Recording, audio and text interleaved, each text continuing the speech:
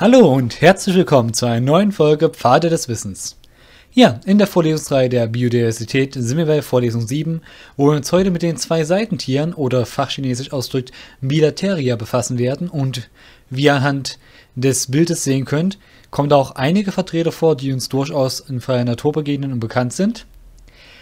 Und zu denen arbeiten wir uns vor, indem wir uns zunächst unter Punkt 1 die Taxonomie der zwei Seitentiere anschauen und wie immer gehen wir dann tiefer in die taxonomischen Untergruppen rein. Hier unter Punkt 2 die Ohrmünder, die Protostomia und unter Punkt 3 die Neumünder, die Deuterostomia. Dann haben wir bei den Neumündern die Untergruppen oder Unterpunkte 3.1 die Taxonomie, 3.2 Ambulacraria, 3.3 die Rückenseitentiere, auch Chordata genannt. Und bei denen schauen wir uns dann weiterhin an unter 3.3.1 die wichtigsten Merkmale der Chordata anhand der Seescheidenlarve. Unter 3.3.2 die Taxonomie der Rückenseitentiere. Unter 3.3.3 die Schädellosen. Unter 3.3.4 die Manteltiere und unter 3.3.5 die Wirbeltiere. Also ihr seht, da ist einiges zu tun. Fangen wir am besten direkt an. Und zwar wie immer mit der groben taxonomischen Gliederung unserer Gruppe, um der es geht. In dem Fall also der zwei Seitentiere, der Bilateria. Deren genaue taxonomische Gliederung ist recht stark umstritten, da die morphologische Gliederung nicht zu den Ergebnissen der genetischen Untersuchung passt und die rein genetische Zuordnung jedoch teilweise Organismen mit verschiedenen morphologischen Merkmalen zusammengliedert. Allerdings legen wir hier dennoch die genetische zugrunde, Einfach aus dem Grund, weil diese halt die dominantere Methode ist. Also, wir können jetzt sagen, je nachdem, was wir zugrunde legen, können wir hier verschieden einteilen. Tun wir es genetisch einteilen, unterscheiden wir hier zwischen den Neumündern, den Deuterostomia und den Ohrmündern, den Protostomia, die im Gegensatz zu den Neumündern keinen Überstamm darstellen, sondern aktuell noch ranglos sind. Ja, bei den Ohrmündern, zu denen zählen halt alle Tiere, bei der sich in der Entwicklungsphase der Gastrulation aus der Plastospore eine Mundöffnung, der sogenannte Ohrmund, bildet, während sich erst später ein Anus entwickelt. Das heißt, anders ausgedrückt, wichtiges Merkmal, erst Mund, dann Anus. Sieht man hier nochmal etwas äh, komplizierter dargestellt. Aber wir können ganz gut sehen, hier im Süden bildet sich die Blastospore, der Mund, und erst später der Anus in der hier dargestellten Oberseite. Wichtiges weiteres Unterscheidungsmerkmal ist, dass sich das zentrale Nervensystem auf der Ventralseite, also auf der Bauchseite, befindet. Im Gegensatz zu den Neumündern, den Deuterostomia, zu denen zählen alle Tiere, bei der sich in der Entwicklungsphase der Gastrulation aus der Plastospore der After bildet, während sich später erst eine Mundöffnung entwickelt. Also quasi genau andersrum. Erst kommt der Anus, dann kommt der Mund. Weiteres Unterscheidungsmerkmal ist, das kann sich jetzt wahrscheinlich jeder denken, dass das zentrale Nervensystem nicht auf der Ventral, sondern auf der Dorsalseite, also der Rückenseite, zu finden ist.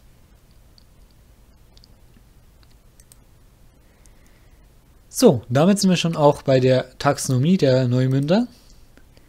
Und nach aktuell gültiger Fassung werden die Neumünder zunächst in die Ambulacraria, welche Kiemlochtiere und Stachelhäuter umfassen, und in die Chordata, die Rückenseitentiere, gegliedert, welchen Hauptbestandteil der Neumünder ausmachen.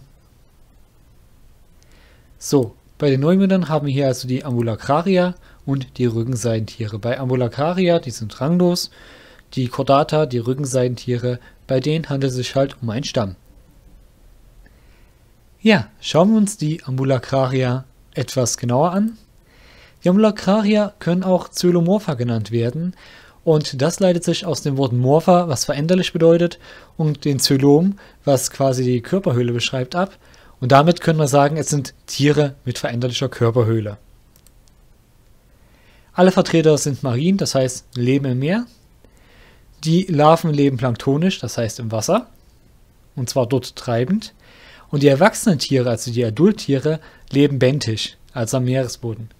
Hä? Toll, da haben wir jetzt doch glatt in einer Folie drei interessante ökologische Begriffe gelernt, Und zwar marin, planktonisch und benthisch. Wunderbar. Wichtigstes Merkmal ist die Archimerie bzw. Trimerie, die Teilung des Körpers in drei Abschnitte. Rechts dargestellt seht ihr schon, der vordere Abschnitt wird Prosoma, der mittlere Mesosoma und der hintere Abschnitt intelligenterweise Metasoma genannt, was wirklich so viel wie vorne, Mitte, hinten bedeutet. Und es gibt viele Taxone, die so eine Trimerie aufweisen, wie die zum Beispiel die Insekten. Allerdings gibt es keine anderen, deren Körperhöhle so unterteilt ist und dieser Aufteilung folgt. Bei Insekten haben wir nämlich eindeutig eingeteilt vorne Karbut, der Kopf, dann kommt äh, der ganze Wespenkörper und hinten das Abdomen, das Hinterteil. Und das ist vom Aufbau her zwar auch eine Dreiteilung, aber funktionell und morphologisch total anders. Ja, damit sind wir bei Punkt 3.3 angelangt, den Rückenseitentieren, die Chordata oder auch Chordatiere. Und die tragen ihren Namen aufgrund ihres wichtigsten Identifikationsmerkmals, und zwar, dass sie eine dorsal, also am Rücken gelegene Achsenskelett haben und die wird in der Regel Chorda dorsalis genannt. Und hier bei dem abgebildeten Sternfleckensammler ist diese gut zu erkennen und zwar in Form der Wirbelsäule, was quasi schon eine entwickelte Chorda dorsalis ist, die wir ja auch besitzen. Die Chorda dorsalis und oder die Wirbelsäule, die ja quasi die Weiterentwicklung ist, muss in mindestens ein Entwicklungsstadium vorhanden sein und dient der Stütze des Körpers sowie der Einleitung der Bildung des zentralen Nervensystems, ist also extrem wichtig. Und wie ich schon sagte, bei höheren Vertretern ist keine Chorda dorsalis vorhanden, sondern die richtige feste Wirbelsäule. Und wenn wir uns die Quartertiere, zu denen wir auch zählen, anschauen wollen, müssen wir uns natürlich die wichtigsten Merkmale irgendwie veranschaulichen. Und das machen wir anhand der Seescheidenlarve, die ja exemplarisch abgebildet ist.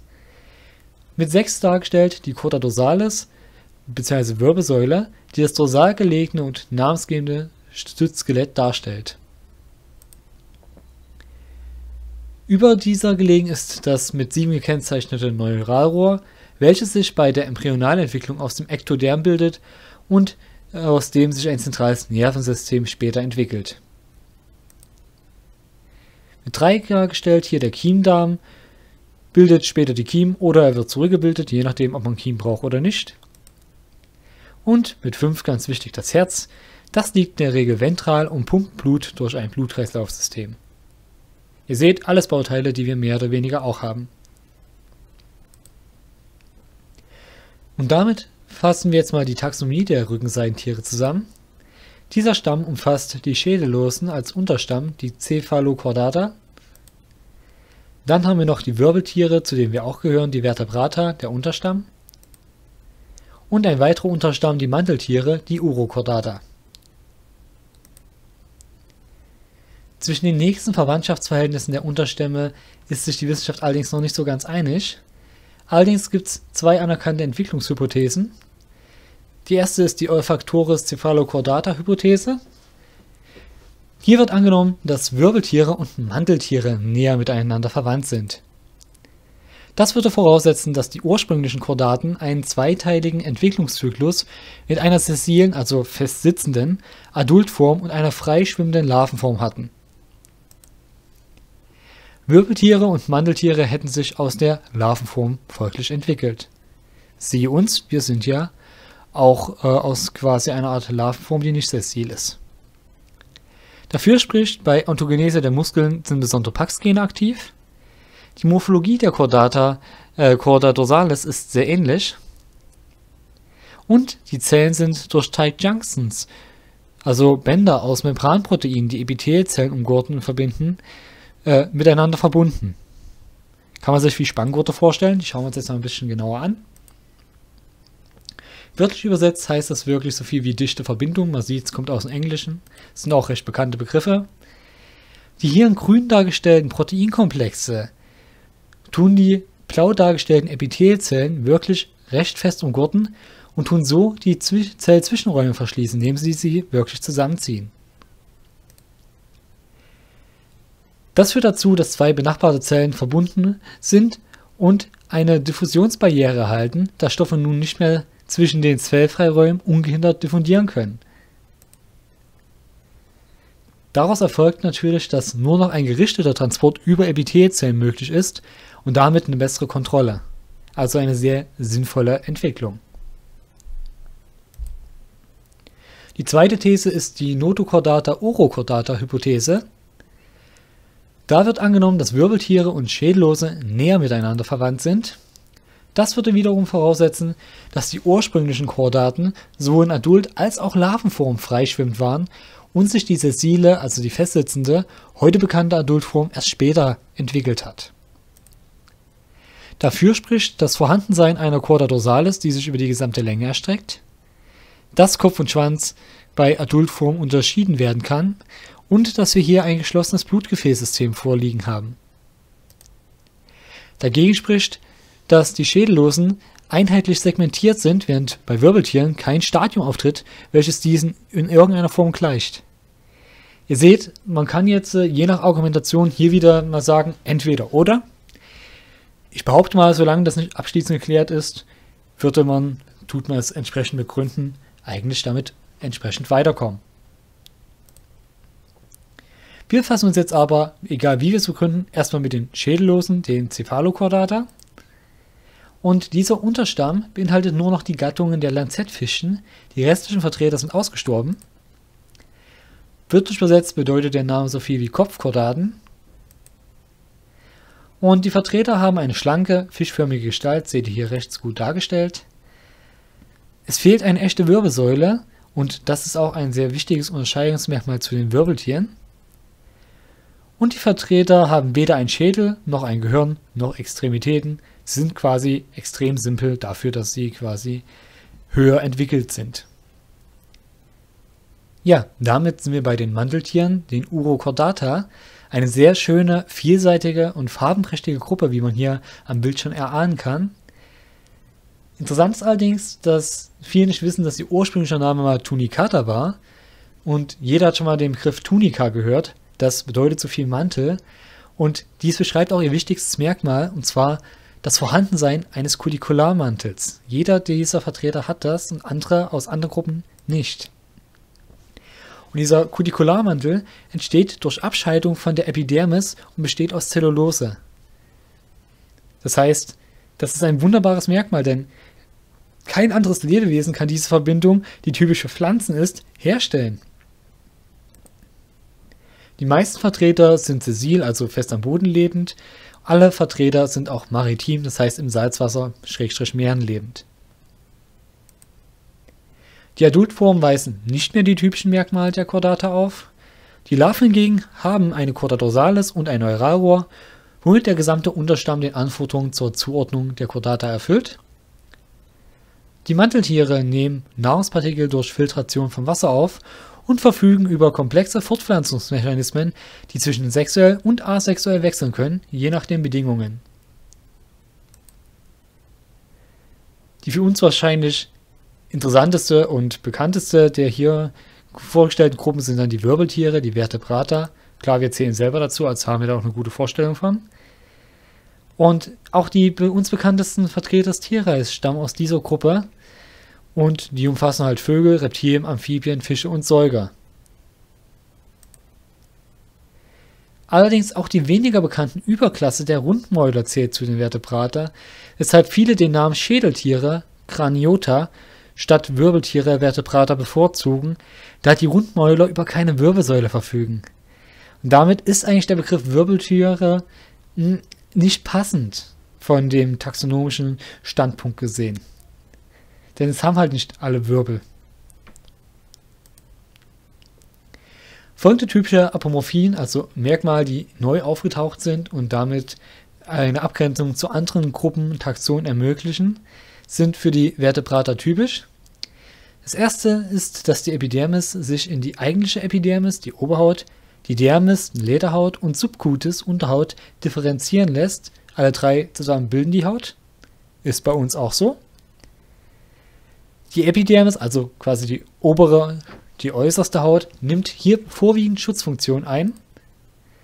Die Dermis beinhaltet Muskeln, Drüsen und versorgt die Epidermis mit Nährstoffen. Und die Subcutis enthält Nerven und Blutgefäße und versorgt die Dermis mit Nährstoffen.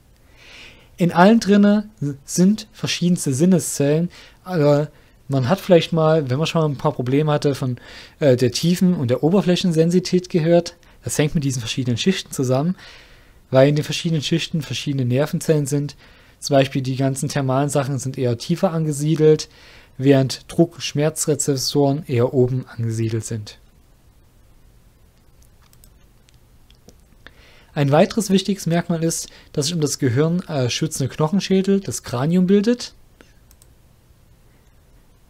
Bei den ebenfalls durch Strukturen geschützten Ganglien der Insekten und Krebse, ebenso wie das von einer Knorpelkapsel ummantelte Gehirn der Tintenfische, handelt es sich um Analogien. Das bedeutet so viel wie, dass die Merkmale sich zwar auf ersten Blick recht ähnlich sind, aber kein gemeinsamer Vorfahr hatte diese, also müssen sie logischerweise evolutiv in diesen Gruppen separat gebildet worden sein, sind also unabhängig voneinander entstanden, erfüllen aber ähnliche oder gleiche Funktionen. Und, taxonomisch interessant, das Merkmal sieht gleich aus, die verwandtschaftlichen Verhältnisse haben hier aber mit diesem Merkmal dann quasi nichts zu tun, das ist nur Anschein. Daher ist die morphologische Gliederung teilweise auch immer sehr, sehr schwer, weil natürlich auf den ersten Blick nicht immer gut erkannt werden kann. Ist dieses Merkmal nun ein Merkmal, das identisch ist oder hat es sich separat entwickelt? Drittes wichtiges Merkmal ist die Ausbildung des Labyrinthorgans als Gleichgewichtsorgan. Bei vielen Vertretern kommt es in abgewandelter Form innerhalb des Ohrs vor, wie bei uns. In der Regel liegen Statolyten genannte Sinneszellen vor, die sich in einem dreidimensionalen, mit Flüssigkeit gefüllten Bogengangsystem befinden, dem sogenannten Labyrinth. Und bei Neigung bewegt sich natürlich dann die Flüssigkeit durch die Erdanziehungskraft und die darin befindlichen Statoliten und das ermöglicht natürlich eine räumliche Zuordnung. Viertens. Die Ausbildung des Gehirns aus dem Neuralrohr. Die Vorderseite des Neuralrohrs bildet sich zu einem Gehirn aus, welches geschützt im Schädel liegt und komplexe Denkprozesse ermöglicht. Der hintere Teil des Neuralrohrs verbleibt als Rückenmark. Zusammen bilden Gehirn und Rückenmark das zentrale Nervensystem. Ich denke, das kennt man von sich selbst ganz gut. So, um diese ganze Informationsflut ein bisschen zu festigen, habe ich mir wieder ein paar schöne Übungen ausgedacht. Und wie immer hier die Ansage, Pausiert an der Stelle das Video, nehmt Stiftzettel, Papier, irgendwas, was euch hilft, diese Aufgaben niederzulegen, niederzuschreiben, zu verfassen, was auch immer, äh, zur Hand. Versucht sie am besten zu lösen. Ich springe natürlich schon mal zu den Lösungen und dann schauen wir mal, ob alles so angekommen ist, wie es ankommen sollte.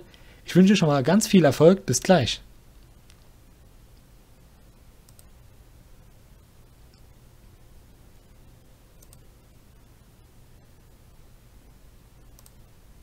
Okay, kommen wir zur Lösung. Ich benötige zwölf Folien, allerdings waren sie auch aufwendige Aufgaben, von daher berechtigterweise. Okay, Aufgabe 1 war, warum ist die taxonomische Gliederung der zwei Seidentiere, also Bilateria, umstritten? Ja, weil die morphologische Gliederung nicht den Ergebnissen der genetischen Untersuchung entspricht, aber die rein genetische Zuordnung jedoch teilweise Organismen mit verschiedenen morphologischen Merkmalen zusammengliedert. Das heißt, beide Systeme enthalten Widersprüche, egal wie man es macht, man kommt auf keinen einheitlichen Nenner. Das macht die Sache natürlich unsicher und diskutabel. Zweitens. Welchen Lebensraum bevölkern die Ambulacraria? Worin unterscheiden sich die Larven von den Adultieren bezüglich ihres Vorkommens in, diesem Lebensraum? Das war, denke ich, auch einfach. Alle bevölkern Meere, sind also marin, beziehungsweise Salzwassermarin. Während die Larven frei im Wasser schwebend leben, planktonisch sind, sind die Adultiere am Boden lebend bentisch. Man kann auch sessil sagen, ist nicht zwingend falsch, aber bentisch verwendet man auch sehr gerne.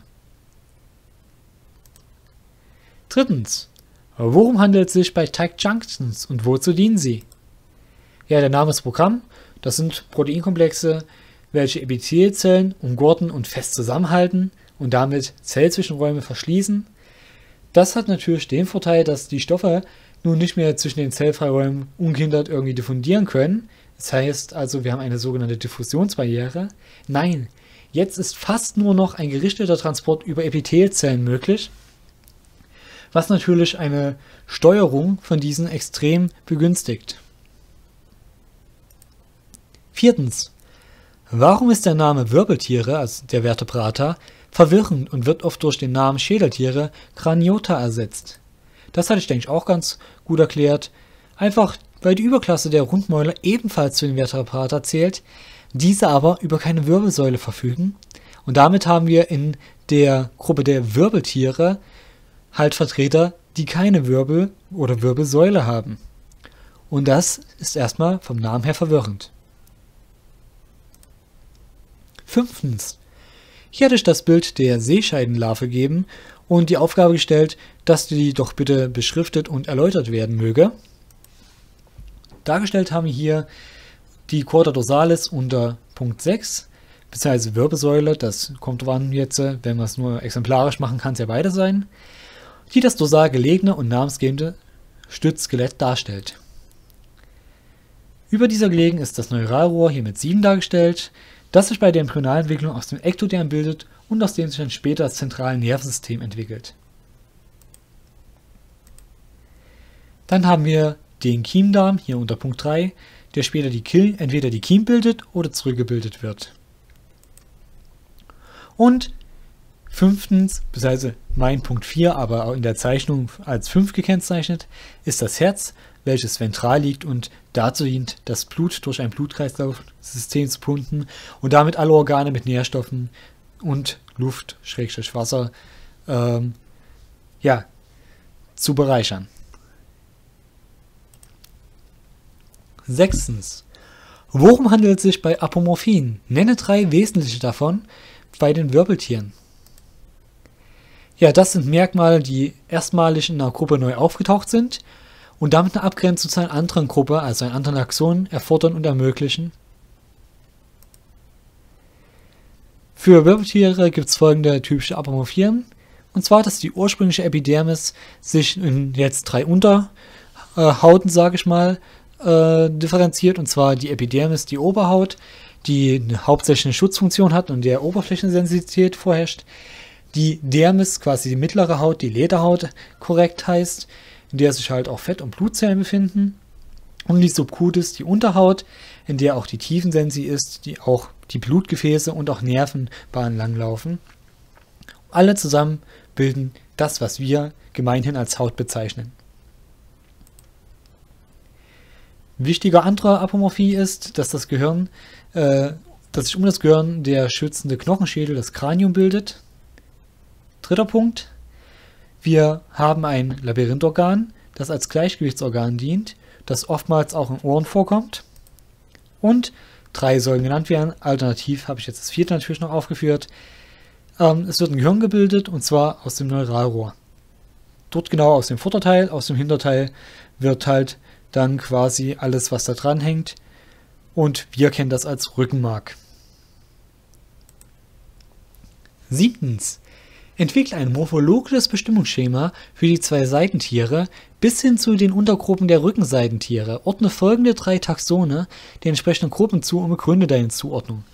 Ja, ihr seht am Smiley, das war eine Aufgabe, die wirklich komplettes Wissen dieser Vorlesung erforderte und ja, ich sage auch mal ein bisschen überlegen, daher dieser hohe Schwierigkeitsgrad. Und ich stelle euch das gerne vor, wenn ihr es nicht habt, ist das nicht schlimm, aber ihr könnt euch das gerne mal anschauen. Wir fangen natürlich an mit den zwei Seitentiere, dem Bilateria. Und wenn wir jetzt weiter bestimmen wollen, müssen wir uns die Fra Fragen stellen. Entsteht bei der Entwicklung zuerst der Mund, eine Möglichkeit, oder alternativ befindet sich das zentrale Nervensystem auf der Ventralseite. Diese beiden Sachen helfen uns schon bei der Unterscheidung. Antworten wir auf eine der Fragen mit Nein, landen wir bei den Neumündern, den Deuterostomia, und gehen dann zur Lösung 7. Antworten wir mit Ja, sind wir schon bei den Ohrmündern, den Protostomia. Sind wir jetzt aber bei den Neumündern, den Deuterostomia, gelandet, müssen wir uns ein bisschen weiter befassen. Und zwar mit der Frage, ist eine Chorda dorsalis oder Wirbelsäule vorhanden? Falls nicht, Herzlich willkommen bei den Ambulacraria. Falls doch, sind wir bei den Rückenseitentieren, den Chordata. Dort müssen wir uns dann fragen, Schädel, echte Wirbelsäule, Extremitäten oder echtes Gehirn vorhanden? Falls nein, dann sind wir bei den Schädellosen, den Cephalochordata. Falls doch, Dann schauen wir mal bei Lösung 8. Da sind wir jetzt. Da müssen wir uns nämlich dann erstmal, ehe wir überhaupt eine Untergruppe festlegen können, ein paar weitere Fragen stellen. Und zwar zum Beispiel, ist kein Kutikularmantel aus Zellulose vorhanden? Oder, eine andere Frage, die uns weiterhilft, Epidermis gliedert sich in drei Schichten. Oder eine andere Alternative, im Gehirn befindet sich ein echter Knochenschädel. Oder ist ein Labyrinthorgan vorhanden? Oder ein echtes Gehirn vorhanden? Ihr seht, wir fragen hier quasi die Merkmale der Wirbeltiere ab. Eine der Fragen hättet ihr wählen müssen und ist eine davon mit Nein beantwortet, landen wir bei den Manteltieren, den Urochordata. Habt ihr die Frage mit Ja beantwortet, sind wir bei den Wirbeltieren, den Vertebrata. So, das wenden wir jetzt mal auf unsere Beispiele hier an. Und zwar beim Regenwurm. Erste Frage, entsteht bei der Entwicklung zuerst der Mund? Ja, tut es. Dann sind wir bei den Ohrmündern, den Protostomia. Und quasi schon am Ende bei dem. So, bei Diplosoma virens müssen wir uns die Frage stellen, ob sich bei der Entwicklung zuerst der Mund bildet. Die erste Frage, die wir sowieso stellen müssen. In dem Fall ja. Da sind wir schon bei den Neumündern. Bei unseren kleinen Kätzchen hier entsteht da zuerst der Mund. Ja, okay, da sind wir auch bei den Neumündern. Da machen wir auch weiter, denn die nächste Frage, die wir uns stellen, ist, ist eine Chorda dorsalis oder Wirbelsäule vorhanden? Ja, ist bei Diplosoma virens. Und damit sind wir bei den Rückenseitentieren, den Chordata. Bei der Katze ist sowas auch vorhanden, also landen wir auch bei den Chordata. Dann Schädel, echte Wirbelsäule, Extremität oder echtes Gehirn ist vorhanden? Ja. Katze? Ja. Also müssen wir weitere, wichtigere Abfragen machen. Bei Diplosoma virens kein Kutikularmantel aus Zellulose? Nein, denn sie hat ja einen. Damit sind wir bei den Manteltieren, den Urochordata. So, hat die Katze keinen Kutikularmantel? Ja, sie hat keinen. Und damit ist sie ein Wirbeltier, ein Vertebrater. So, und damit sehen wir jetzt die Endauswertung. Der Regenbogen ist ein Ohrmünder, Diplosoma virens ist ein Manteltier und die Hauskatze ist ein Wirbeltier. Und ja, damit sind wir am Ende der Vorlesung angelangt. Ich hoffe wieder mal, es war für euch interessant, hat euch Spaß gemacht oder euch was beigebracht. Am besten natürlich alles zusammen. Wie immer würde ich mich über einen Daumen hoch, gute Bewertungen, Anregungen freuen. Und ja, bis dahin verabschiede ich mich bis zum nächsten Video. Hoffe, wir hören uns wieder. Naja, eigentlich hört ihr noch mich, aber ich sehe es, wenn ihr es seht. Das können wir ja eigentlich auch so werten. Auf jeden Fall sage ich bis dahin erstmal Tschüss, habt viel Spaß, macht euch eine schöne Zeit. Bis nächstes Mal.